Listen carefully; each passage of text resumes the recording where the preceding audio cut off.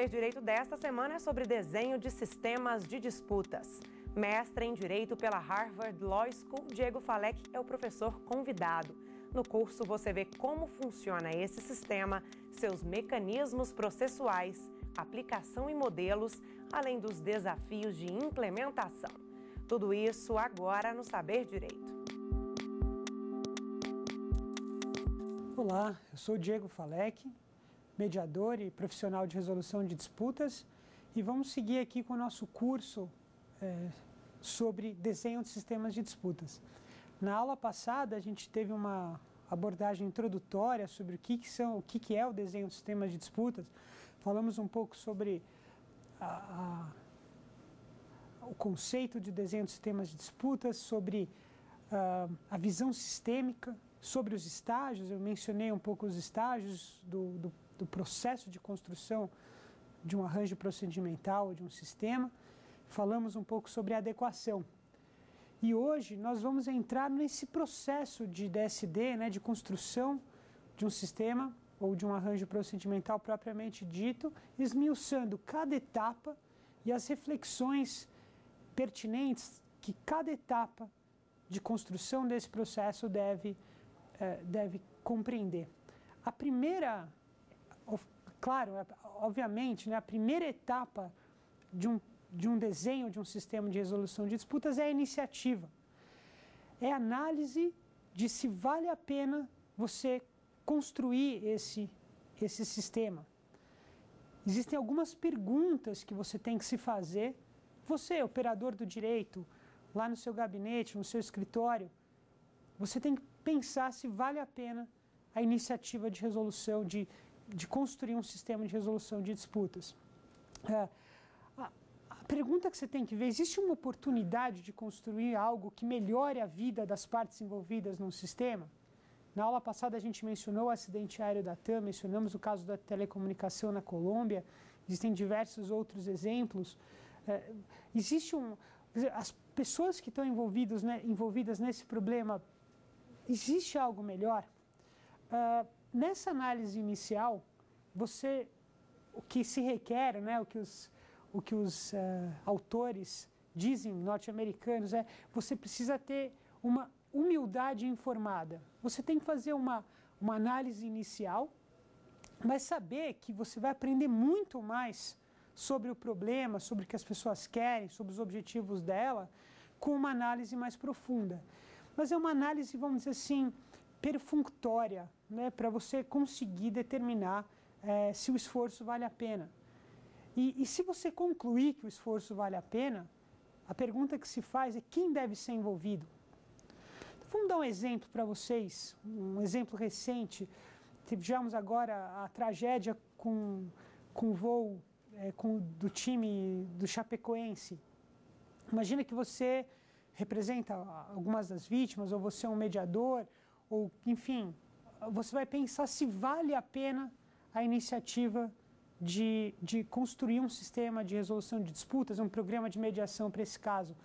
Você sabe, temos grandes exemplos anteriores, como eu mencionei, a Câmara de Indenização do caso da Tante, 2007, extremamente cumpriu a missão de indenização das vítimas. Tivemos também uma Câmara, o Programa de Indenização 447 para as vítimas do acidente da Air France de 2009, também cumpriu a sua missão de trazer alívio para as vítimas.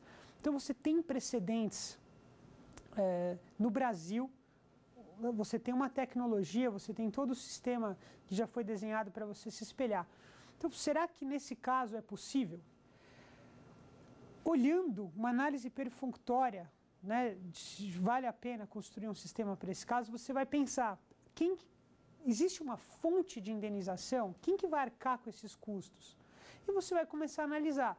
Uh, uh, nós sabemos por notícias, tudo que eu estou dizendo aqui são notícias que, que eu vi no jornal, que todos nós tivemos acesso. Uh, nós sabemos que a empresa aérea é uma empresa pequena, não tem muitos recursos. Ouviu-se falar numa pólice de seguro na Colômbia, mas ouviu-se falar também de uma pane seca que é uma cláusula de exclusão do seguro, quer dizer, o segurador não arcaria. Você não sabe o limite da pólice, você tem uma chance de dessa pólice não cobrir, quer dizer, talvez não tenha dinheiro, não tenha fundos para essa iniciativa. Então, é, antes de você dedicar esforço para ir lá convencer as partes, convencer as empresas, as, as famílias, enfim, mapear quem são os envolvidos e construir esse sistema, você vai pensar, poxa, não tem nenhuma fonte é, é, das indenizações, talvez não valha a pena. Um outro exemplo que nós tivemos foi aquela tragédia terrível com a Boate Kiss em Santa Maria, em janeiro de 2013. Naquele caso também não havia pólice de seguro, os bens dos sócios da boate também eram limitados, não faziam frente às indenizações e você tinha uma questão de responsabilidade do Estado, responsabilidade do município ou do Estado, por não ter fiscalizado. É um grande debate jurídico. E, vocês, e nós sabemos que existem grandes dificuldades para, enfim, para o Estado, para o governo indenizar ou priorizar uma situação é, independente de outra. Nós sabemos que temos todo um sistema de pagamento por precatórios. Como é que a, a União, o, o Estado, a União poderia até intervir para criar um sistema de indenização e fundos. É, até é possível, em tese, mas e a dificuldade de você criar esse programa?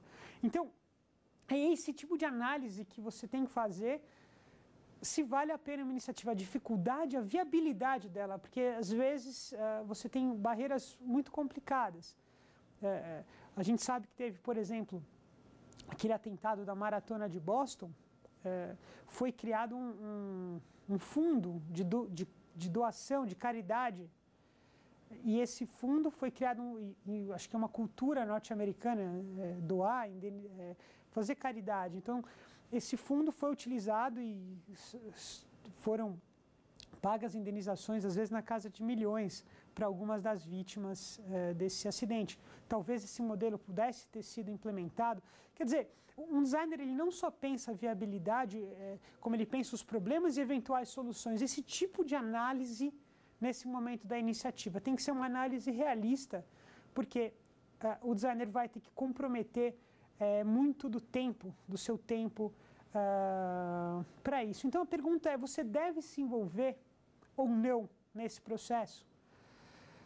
Uh, aí é uma pergunta pessoal. Nós propomos aqui, com esse curso, com essa ideia do desenho de sistemas de disputas, que você, operador do direito, você advogado, você promotor, você juiz, seja um partícipe nessa construção de um arranjo processual adequado para um problema que se procura resolver. Então, a primeira coisa que, que nós esperamos é uma análise assim: é, é eu posso ajudar? Eu, eu tenho capacidade, eu tenho conhecimento para ajudar? Então, a primeira pergunta que você tem que fazer, que um designer tem que fazer, sugerem os autores, o Frank Sander, Bob Bordone, uh, uh, Nancy Rogers, diversos autores que escrevem, sobre, que escrevem sobre o tema, eles sugerem: eu tenho experiência suficiente que me ajude a compreender essa situação? Você pode desenhar um, um sistema para resolução de conflitos é, comunitários, de questões de violência em comunidades você pode desenhar um sistema de resolução de disputas para uma série de, de, de, tragédias, uma série de relações comerciais, você uma, uma relação entre uma empresa e seus concessionários, ou uma relação entre, enfim, público-privada, eh, que afete diversas pessoas, uma situação de, de, de qualquer situação potencial de indenização, uma, uma situação que uma empresa deve é, enfim, é, re, reparar diversas pessoas. Então, a ideia assim, é, eu tenho experiência que me permite entender dessa situação e, e, e propor essa iniciativa. Mais do que isso, eu tenho capacidade de criar confiança com as pessoas que precisam aprovar essa iniciativa. Dizer, a, a, o designer ele tem que ter um conhecimento e tem que ter uma habilidade. A gente está falando aqui de uma de uma técnica, de uma tarefa, né, de você efetivamente construir essas soluções. Então você tem experiência, você tem capacidade de fazer as pessoas confiarem em você para isso. É, para isso você precisa ter conhecimento, né? E, e, é justamente o conhecimento que nós estamos abrindo aqui, que vamos comentar ao longo dessas aulas, o conhecimento sobre resolução de disputas, sobre a teoria da resolução de disputas, sobre as variáveis, sobre os mecanismos, sobre como eles funcionam, como eles podem ser combinados e organizados. Então, esse tipo de conhecimento específico é, que nós estamos é, abrindo aqui, que é uma lacuna, eu acho, no, no sistema nacional, é, que como nossos, no, uma lacuna no, no, nosso ordenamento, na nossa doutrina nacional, é, que fala muito dos mecanismos e pouco sobre como eles funcionam e como eles podem ser combinados e integrados. É esse tipo de conhecimento que você deve desenvolver para conseguir dar cabo a essa tarefa. Outra coisa, você tem contatos, você tem é, conflitos de interesse, no caso, é, e, e, algumas características pessoais também. Você tem capacidade de ouvir, capacidade de entender as pessoas, e os autores também mencionam a humildade. Você é uma pessoa que tem a humildade de perceber que nem a sua mais sofisticada ideia, é, nem a melhor ideia que você tenha pode dar certo se as partes não aceitarem, se, se ela não incorporar o que os outros pensam, o que as próprias pessoas que estão sofrendo aquele problema pensam ou entendem que é bom para eles. Então, são essas algumas das características gerais. Uh, o designer também, assim como um mediador, ele, na verdade, ele tem muito das características de um negociador e de um mediador, e também de um conhecedor do, do dessa arte, nessa ciência, essa arte da resolução de disputas. Uh, você precisa ter algumas, como um designer, algumas habilidades específicas, assim como um mediador. Vocês veem ah, o currículo dos cursos de mediação, os treinamentos, requerem algumas habilidades específicas. São muito parecidas, talvez um pouco potencializadas, mas as mesmas. A, a habilidade, talvez, que o, que o designer mais precisa ter, e eu digo designer, é esse processualista, esse operador do direito, um advogado, um promotor, até um juiz, um, um, um advogado interno da empresa, um advogado externo, um advogado público, esse, esse operador do direito que se joga na tarefa né, de desenhar um procedimento, é, eu vou chamar esse, essa, esse profissional de um designer.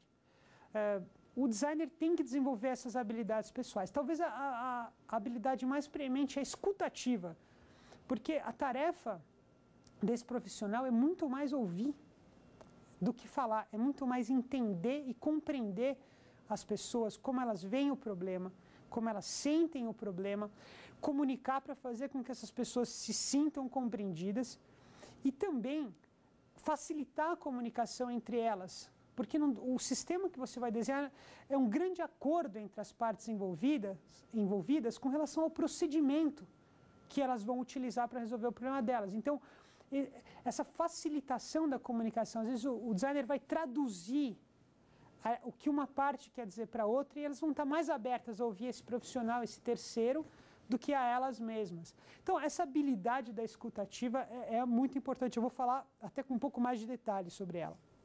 Uh, uma outra habilidade muito grande são habilidades, por exemplo, de entrevistar. Uh, quando você entrevista né, uma pessoa, a gente vai falar um pouco disso no diagnóstico, mas a ideia é que você, você tem que conseguir não só a informação que você precisa, que às vezes não sai fácil, é, mas também criar confiança. Então, existem técnicas, né, a capacidade de, de entrevistar efetivamente. Também a, a atividade de conduzir reuniões. Parece supérfluo, mas não, de você definir uma agenda você cumprir uma agenda, manter todas as partes em foco eh, e, e, com objetivo. Uh, enfim, é uma das habilidades do, do designer facilitar esse tipo de reunião, conseguir construir e manter o foco das pessoas nesse tipo de reunião.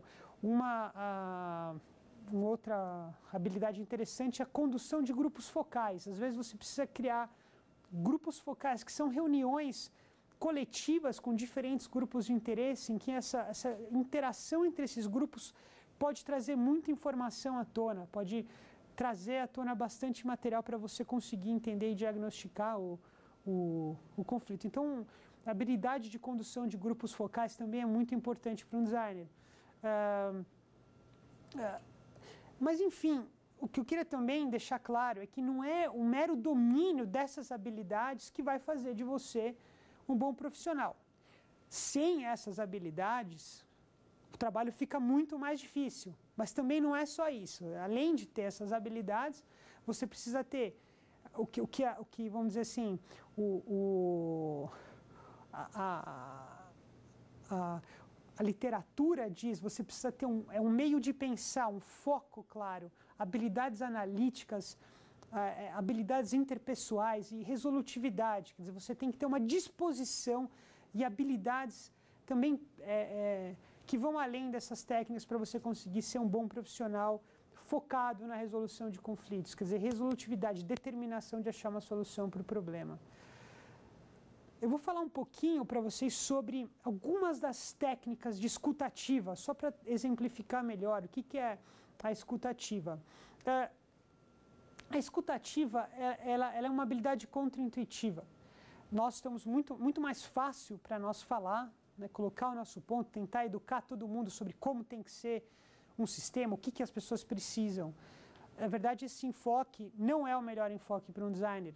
O enfoque ele tem que, o, designer tem que ter um enfoque é, de compreender e entender o que as partes é, precisam e querem. Então, ah, uma, da, uma, uma primeira ah, vamos dizer assim, técnica é o uso de perguntas abertas.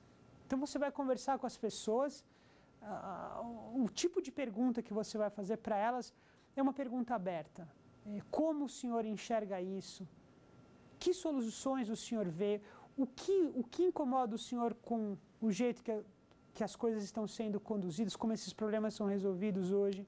São perguntas que fazem as pessoas falar, falarem mais. Se você perguntar, o senhor quer participar de uma nova iniciativa, o senhor entraria numa, numa Câmara de Mediação? A, resposta pode ser sim ou não. Perguntas fechadas levam para um sim ou não.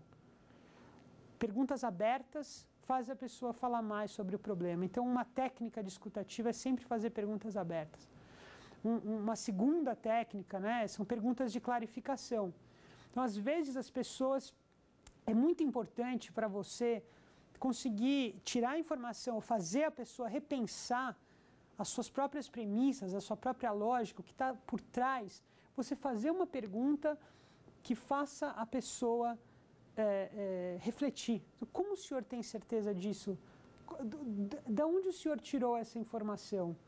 É, esse tipo de pergunta de clarificação são perguntas muito boas para levar as pessoas de volta para as suas premissas. O espelhamento é uma outra técnica, né? quando são técnicas é, muito, muito úteis. Quer dizer, a pessoa diz uma coisa, você repete com as próprias palavras dela. É bom para checar se é aquilo mesmo. E segundo, para a pessoa perceber, às vezes, é, a inadequação ou rever. É, quando ela ouve isso de uma outra pessoa, às vezes ela, ela repensa. Né? Então, o senhor está dizendo que vender esse, esse bem por um valor de mercado de volta para mim é, não é um bom negócio? Então, uma pergunta, a pessoa vai pensar: não, não, não é isso que eu estou querendo dizer, que para mim ele tem um outro valor. Enfim, é, é, uma pergunta, o espelhamento é uma técnica é, muito utilizada. Reformulação né, é uma técnica também muito usada na mediação. A pessoa diz algo para você, você limpa o que é negativo e dá um encaminhamento para a conversa de uma maneira positiva. Quer dizer, por exemplo, eu não vou pagar essas pessoas para elas gastarem esse dinheiro com coisas improdutivas. Você vai reformular. Então, o senhor está dizendo que se o senhor se assegurar que, os, que as pessoas vão fazer um uso produtivo do dinheiro, o senhor poderia considerar essa indenização?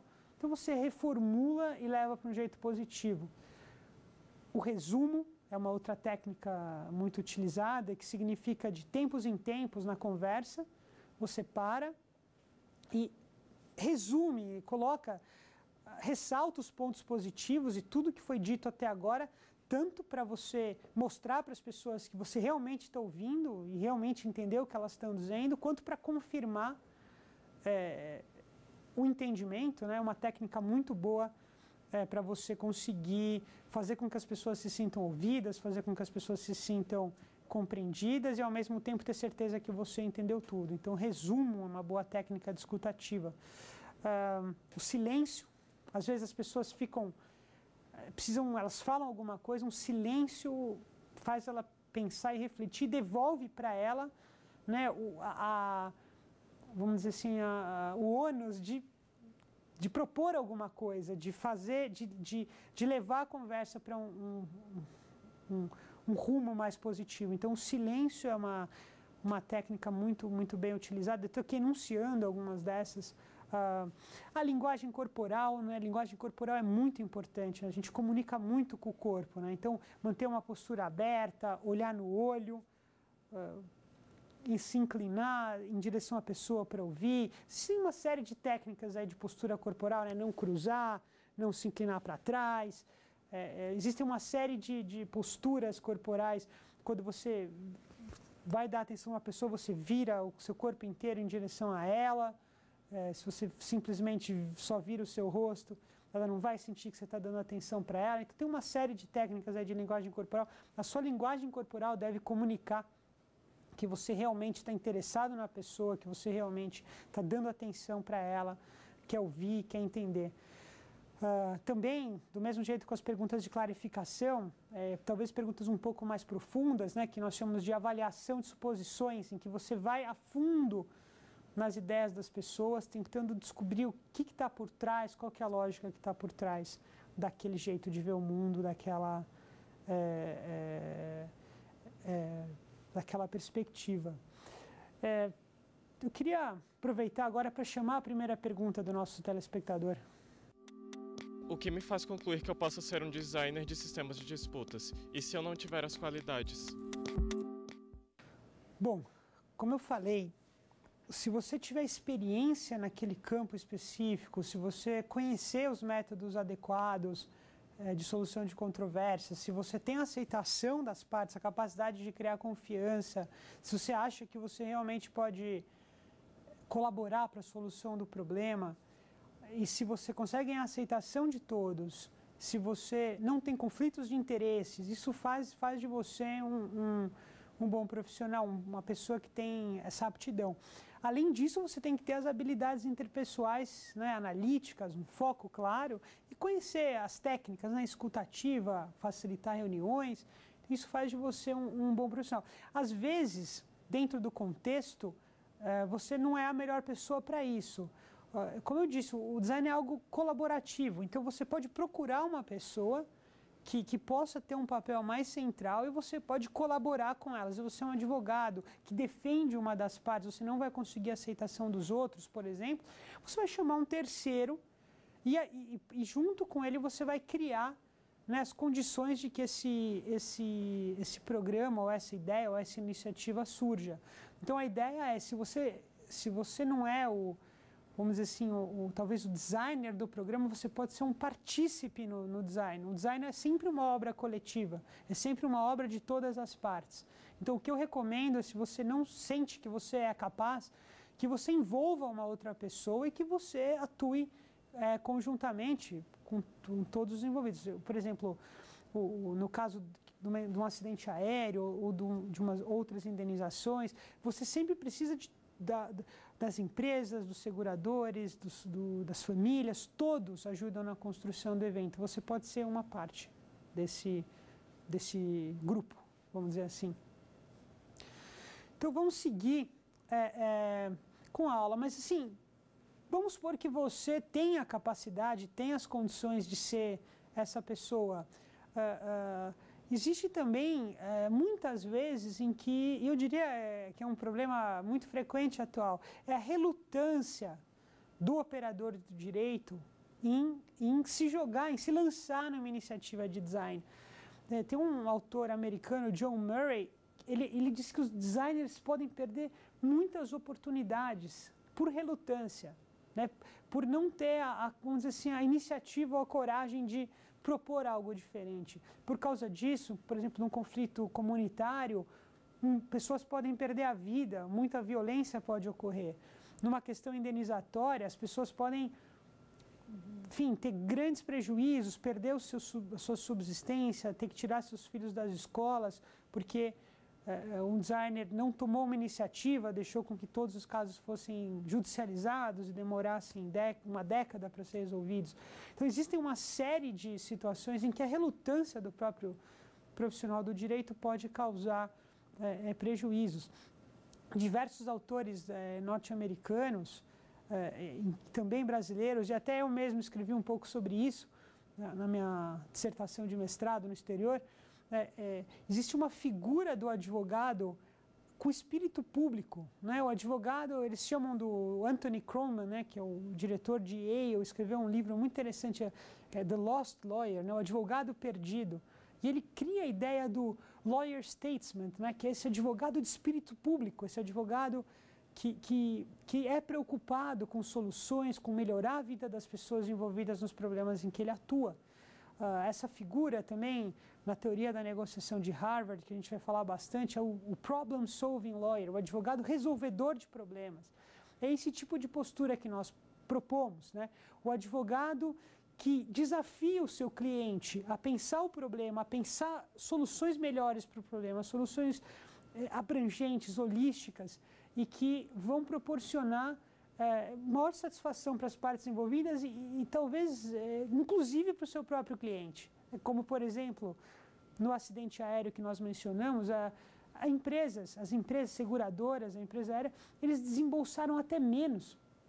E mais dinheiro chegou nos bolsos do, do, dos beneficiários, porque foram cortados todos os custos de transação, de perícias, de custos com advogados para brigas eternas no judiciário, enfim, diversos custos foram cortados, mais dinheiro é, chegou no bolso dos, dos, beneficiários e menos saiu da empresa e foi um, todos saíram mais satisfeitos. Então, a ideia desse advogado, é, que obviamente vai se remunerar muito bem, é, e mais vai trazer uma solução adequada, uma solução que atenda a, a, aos interesses de todos os envolvidos. É isso que nós procuramos defender. E isso não é uma exclusividade do debate norte-americano. Se você pegar o nosso Código de Ética da OAB, o artigo 2 do Código de Ética da OAB, ele diz: o advogado, indispensável à administração da justiça, é defensor do Estado democrático de direito, da cidadania, da moralidade pública e da paz social, subordinando a atividade do seu ministério privado à elevada função pública que exerce. Parágrafo único. São deveres do advogado estimular a conciliação e a mediação entre os litigantes, prevenindo, sempre que possível, a instauração de litígios. Então, temos aqui o inciso 4 do artigo 2 do Código de Ética da OAB, trazendo a expectativa nossa de um advogado de espírito público, um advogado que busca a conciliação, a mediação. A, a mediação foi incluída esse ano. Ano passado houve uma, uma, uma emenda a esse artigo 2 esse parágrafo 4 do artigo 2 que incluiu a mediação, mas antes a gente tinha conciliação, talvez com sentido mais amplo, né, de, de, de trazer uma solução consensual. Uh, esse, esse já é um dever do advogado aqui no Brasil, hoje em dia.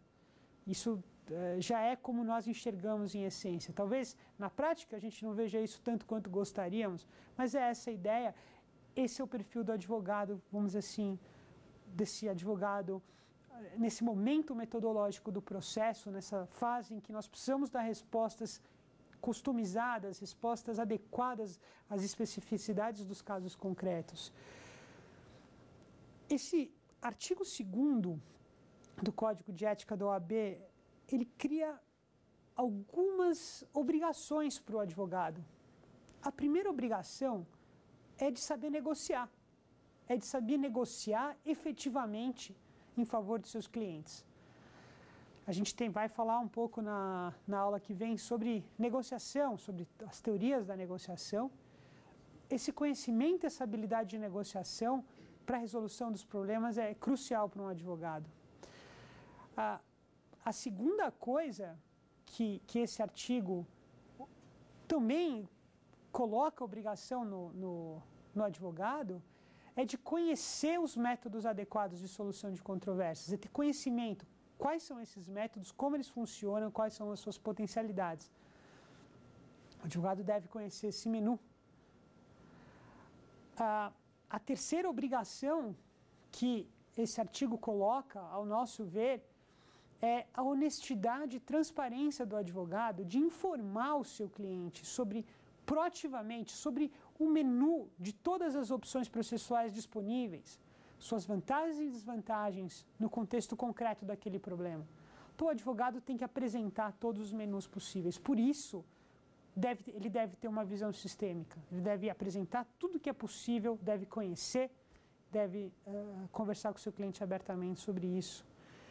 E o que nós propomos aqui de um passo além é que o advogado, seguindo a linha do professor Carlos Alberto de Salles, essa, também toda essa linha internacional que vem desde a década de 50, Lon Fuller, Frank Sander, Uri, Goldberg, que o advogado seja capaz de construir procedimentos, arranjos procedimentais consensuais, seja capaz de usar os mecanismos processuais, organizá-los em sequência e saber utilizar, desenhar esse sistema ou esse arranjo específico para o caso que ele procura resolver.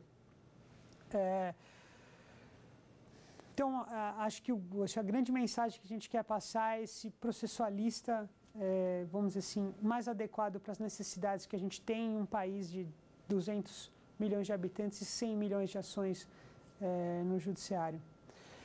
Então, supondo que a timidez ou que a relutância não é um problema, em que você está convencido de que você pode ser um, um oferecer aí uma grande contribuição para construir um novo arranjo procedimental, um novo sistema de resolução de conflitos, qual que é o seu próximo desafio? É ganhar a aceitação das partes. A aceitação das partes, é, as pesquisas demonstram, ah, são dois grandes fatores que vão fazer com que a parte te aceite como um, um, um designer. O primeiro é a noção de que um novo procedimento, um novo esquema vai trazer ganhos. Então, quando as partes têm essa noção, essa percepção, é, é, isso ajuda bastante. A segunda o segundo motivo para você, a segunda grande razão de aceitação é a confiança de que você é capaz de ajudar, de, de ajudar nesse processo.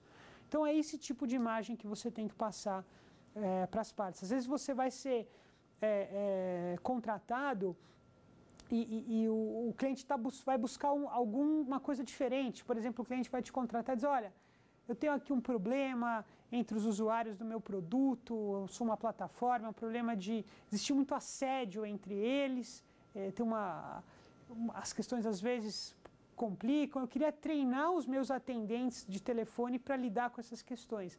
E você vai identificar, não, você não precisa de um treinamento dos seus atendentes, você precisa ter canais para que essas pessoas consigam é, é, ventilar esses problemas e trazer esses problemas à tona para você conseguir resolver. E aí, dentro da teoria da resolução de conflitos, você precisa ter múltiplas portas de entrada, canais informais, canais mais formais.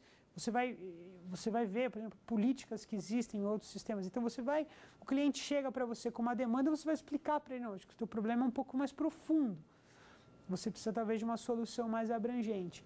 Uh, uh, as duas qualidades que você tem que ter é, é, é educar, é, é escutar para começar a entender, aprender né, sobre o problema do cliente com humildade, porque você às vezes não conhece o, negócio dele, como, o, o, o, como aquele problema, o contexto daquele problema. Então, educa, se você aprender com humildade e educar com empatia, né, porque você às vezes vai ter o conhecimento técnico que ele não tem, e por meio das técnicas como a escutativa, como a gente conversou, é, com uma comunicação bem, vamos dizer assim, controlada, você vai conseguir educar as pessoas de novas possibilidades, de novos arranjos procedimentais que podem ser construídos e organizados para resolver aquele problema.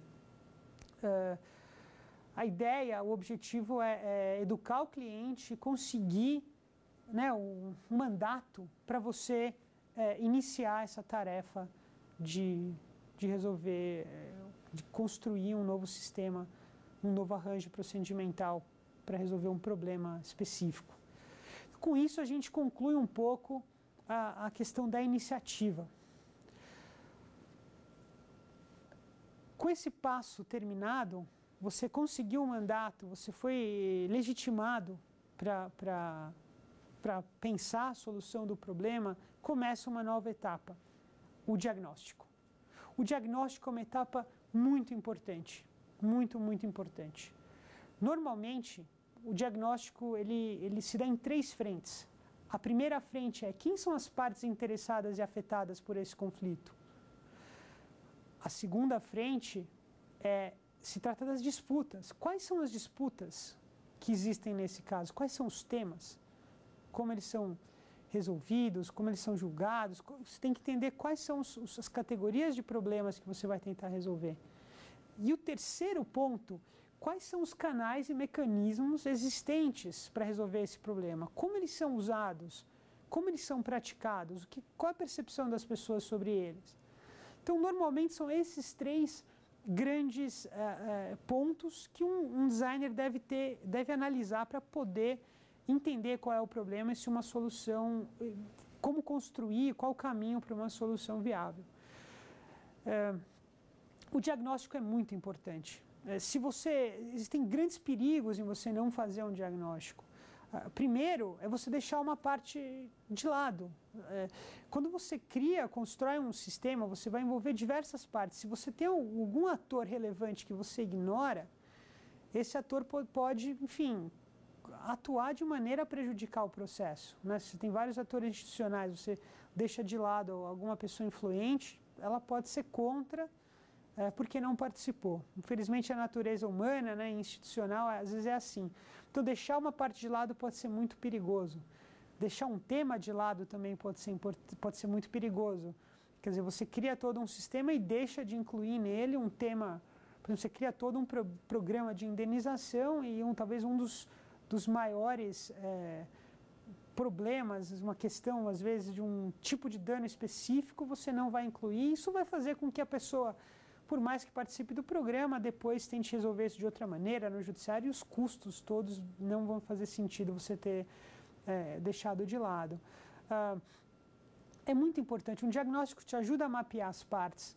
Quais são seus interesses, quais são suas necessidades, o que, que elas têm de recursos, quais são as suas alternativas, dizer, o que, que elas vão fazer se esse sistema, se elas não forem, se elas não utilizarem esse sistema ou esse arranjo procedimental.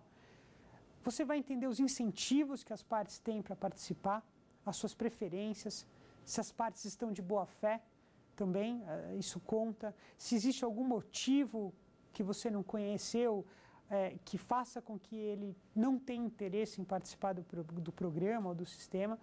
Então, a, a, o diagnóstico é, ele é muito importante. Você também vai entender, é, você vai ter oportunidade também de educar as partes as partes nem sempre raciocinam como a gente gostaria, né? Que a linha de raciocínio deles não é sempre lógica. Nós não somos é, é super-homens ou super-mulheres que é, é, têm um raciocínio perfeito, não, não vamos dizer assim, é, contaminado por emoções ou por algum tipo de preferência, por alguma barreira cognitiva. Nós somos altamente falíveis, então às vezes a ideia mais perfeita no plano assim, da teoria dos jogos, da teoria racional, da análise de decisão, às vezes é um pouco descolada do que de como as pessoas efetivamente decidem. Então esse trabalho de educar, de entender, é, é, é de construção de relacionamento é muito importante, de colaborar é, é, para o design é muito importante. É, se você negligenciar alguma parte, ou grupo, ou tema, você pode deixar de entender é, é, se tem algum fator impeditivo, algum ator que não tem interesse, um obstáculo financeiro, é, é, é, muito importante muito importante você conduzir. Algumas pessoas entendem que o diagnóstico talvez seja uma perda de tempo ou dinheiro, mas se você não faz esse trabalho, se você não envolve as partes, é, é complicado. É, uma vez, muito tempo atrás, fui consultado por um, também por uma agência reguladora, queria construir uma câmara de mediação e, e indenização é, é, você tem que envolver as partes, você tem que ouvi-las, envolvê-las. É, quem são os atores, os grupos de interesse desse setor que regulado para conseguir construir uma solução. E, e, e ao contrário disso, a, a, a, na época, o órgão regulador disse, não, não, isso não dá muito trabalho, muito dinheiro, não tem muito como fazer. Foi lá e montou uma câmara de, de, de mediação e arbitragem para resolver os problemas do setor, redigiu uma, um, um, regulamento utilizando os próprios advogados públicos como, como mediadores e árbitros, sem ouvir a sociedade e, obviamente, durante muitos anos, essa Câmara teve zero casos. Então, a, a ideia de você impor uma solução, não trazer as pessoas para colaborar, é, pode ser muito complicada. Bom, eu queria chamar a segunda pergunta da nossa aula de hoje? Eu preciso mesmo fazer o diagnóstico da situação conflituosa ou isso é perda de tempo e de dinheiro? Bom, como eu acabei de, de explicar, é, realmente é muito perigoso você, você iniciar uma, um, um, criar um novo sistema sem ouvir as pessoas, sem entender quais são os conflitos, sem fazer um mapeamento, sem conversar com elas, sem, sem compreender é, se existe algum fator, algum impedimento, alguma, alguma parte, algum, enfim, é, é muito perigoso você você pular essa parte e, e, apresentar um design sem fazer um diagnóstico. As chances de insucesso são muito aumentadas é, se você não ouve, se você não entende, se você não envolve as partes, se você não, não tem um... Pro... O processo de design de sistema de disputas é tanto político quanto técnico. Você precisa entender é, do problema, das partes, da vontade, das suas inclinações, preferências e tendências para conseguir é, é, pensar, implementar uma solução é, é, que seja aceitável por elas todas. E, do mesmo jeito que na mediação uma parte consegue, vai cumprir um acordo que ela mesma ajudou a construir, porque ela participou da construção, as partes vão é, usar um sistema de resolução de disputas que elas sentirem que elas participaram da, da, da, construção, que elas têm alguma forma de participação, que seus interesses foram in, incorporados e entendidos. Então, é, o risco de negligenciar uma parte, um grupo, um tema importante é, é muito alto sem o diagnóstico. Seguindo então as nossas aulas, é, seguindo então a nossa aula, uh, primeiro ponto de diagnóstico são as partes interessadas e afetadas. Então você tem que fazer um mapeamento de quem são essas partes. Quem se importa com o problema? Quem vai ser afetado por uma nova solução ou por um novo processo? Quem vai custear? Quem pode se opor? Quem vai legitimar o processo? Né? Um órgão do governo, um especialista, consenso de todos, como você vai legitimar esse processo? Quem tem participação essencial? Quais são os objetivos e interesses das partes? Quais são as suas alternativas? Né? O que quer dizer? O que, que elas vão fazer se esse programa não existisse? Então, esse tipo de pergunta, eu dei aqui um roteiro das perguntas principais que um designer deve se perguntar para entender quem são as partes. Isso pode ser muito mais aprofundado. Uh, uh, quem influencia quem, com quem você deve conversar primeiro. São, são várias perguntas, você tem que entender o mapeamento das partes. Uh, o segundo ponto é o contexto dos problemas. Quais são os temas em disputa? Quais são os temas que o sistema deverá tratar? Por que, que eles são importantes para as pessoas? Uh, uh, por exemplo, no caso da, da, da Colômbia, da CRC, nós listamos 12 temas de categorias de disputas equipamentos quebrados, problemas com homing, é, problemas de fatura, problemas com, com ligações que caíam. A gente pegou quais são os problemas que o sistema, tipo de conflito que o sistema vai ter que lidar. No programa de indenização também, é, por exemplo, se você pegar o programa de indenização é, da Fundação Renova para esse é, rompimento da barragem da Samarco, são mais de 66 itens né, de, de perdas e de indenização que foram listados e, e, contemplados na matriz de danos que foi amplamente debatida com a sociedade e com as autoridades é, é, pertinentes. Foi feito um grande levantamento. É, quais, quais são os elementos desse problema? Você tem elementos técnicos, emocionais, jurídicos. Por exemplo, se você vai criar um sistema para lidar com o seguro do DPVAT, você vai você tem ali uma, uma, uma perícia, talvez que seja necessária, rápida, você tem um elemento técnico ali que talvez deva ser incluído no sistema. Um acidente, como um programa de indenização, você tem elementos emocionais, né? Você, por causa disso, você vai colocar uma mediação para poder lidar com esses elementos emocionais, ou elementos simplesmente, simplesmente jurídicos, né? Você tem ah, elementos como um sistema, por exemplo, uma briga entre a Fujitsu e a IBM, que foi utilizado um sistema de, de indenização, de, de, resolução de conflitos entre usuários que tinham uma questão de licenciamento de software em que a questão era puramente jurídica, você criou um sistema de arbitragem é, repetitivo. Uh, quais os critérios que se aplicam né, nesse para a resolução desses conflitos? Quais as causas, quantidade, frequência? Você tem que entender como as disputas uh, ocorrem. Né?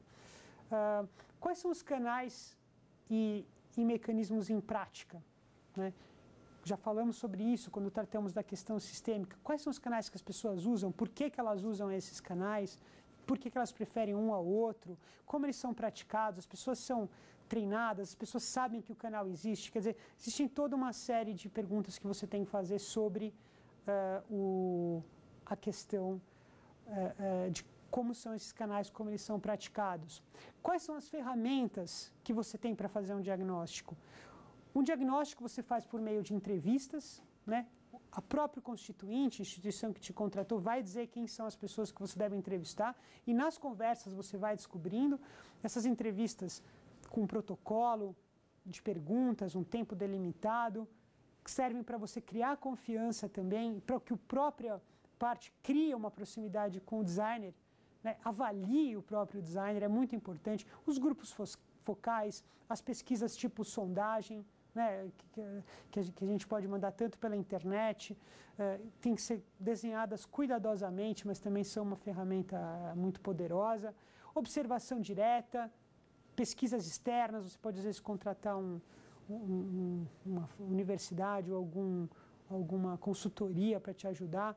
Ou às vezes as informações, tem muita informação pública, né, é, que você consegue de uma maneira muito fácil encontrar é, é, solução. Às vezes não, às vezes você tem que olhar para precedentes, para casos parecidos. Então, essa reunião de informações por meio de levantamento de dados, entrevistas, é, pesquisas mesmo na internet, uh, uh, relatórios, relatórios públicos, uh, grupos focais, criação de pesquisas de sondagem, até pesquisas externas, vão te ajudar a, a entender esses três grandes pontos. queria chamar a nossa terceira e última pergunta. Qual a importância do envolvimento das partes interessadas e afetadas no diagnóstico? O envolvimento das partes interessadas e afetadas no diagnóstico é fundamental. É, só realmente entrevistando as partes é, é, olho no olho, muitas vezes, você vai conseguir ter as informações que você precisa, vai conseguir criar confiança, vai conseguir persuadi-las a participar de um, de um eventual novo sistema ou arranjo, a, a, a ingressar, a, a, concordar, a utilizar isso. É, você vai entender qual é o seu real interesse. É difícil, às vezes as partes não falam tão fácil qual, qual é o seu real interesse. Então, uh, ouvir, entrevistar as pessoas é fundamental para você ter uma noção exata,